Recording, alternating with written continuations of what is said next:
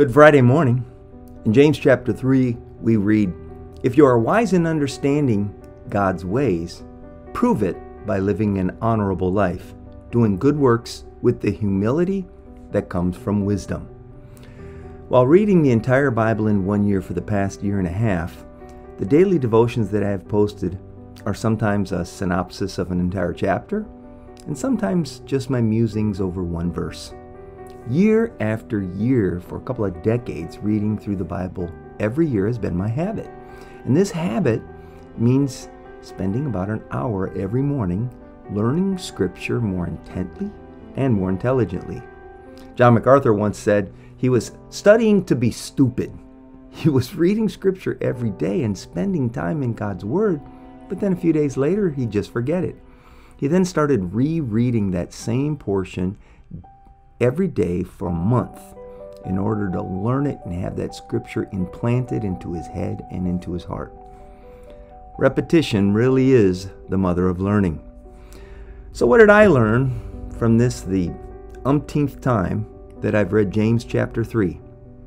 I've learned that there's a difference between false wisdom and true wisdom. True wisdom is shown in humble conduct and works characterized by purity, peace, gentleness, reasonableness, mercy, fruit, impartiality, and sincerity.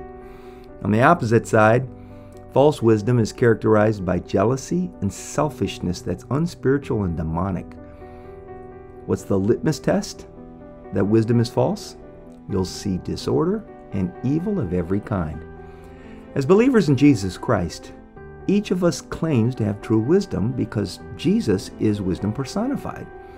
The challenge for us is to live out the true wisdom that we claim to have. And James 3 describes true wisdom, but how do we put that into practice in our lives? Job 28 28 says, The fear of the Lord is true wisdom. To forsake evil is real understanding. Respect God, avoid sin. That kind of sums up true wisdom. James says, humility is a byproduct of wisdom. One of the first fruits that reveals you are genuinely born again is humility. Christ is humble. And it is humility that makes us teachable, allowing us to admit our shortcomings. Through this, we can then come before our Lord in submission so that the Holy Spirit may work on us in areas that have yet to be conformed to the image of Christ. I freely admit this is one of the most difficult characteristics in my own life to grow, which maybe explains why it's not as visible as I'd like to see it in the church that I pastor. The old saying is like father, like son, like pastor, like church. Where there's a lack of humility, or an excess of arrogant pride, we're going to find conflict. We must be willing to set aside ourselves for the sake of our Savior and His church.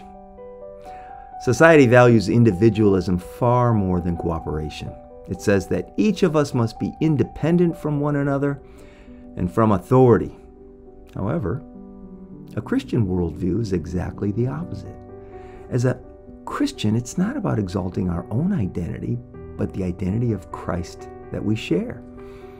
In looking at the characteristics that James lists for true wisdom, there is a common trait in all of them. Each of them is something that is manifested toward others. They're not selfish motivations or self love, but actually they are indicators of something that is exhibited toward others out of our love of Christ. This is true wisdom.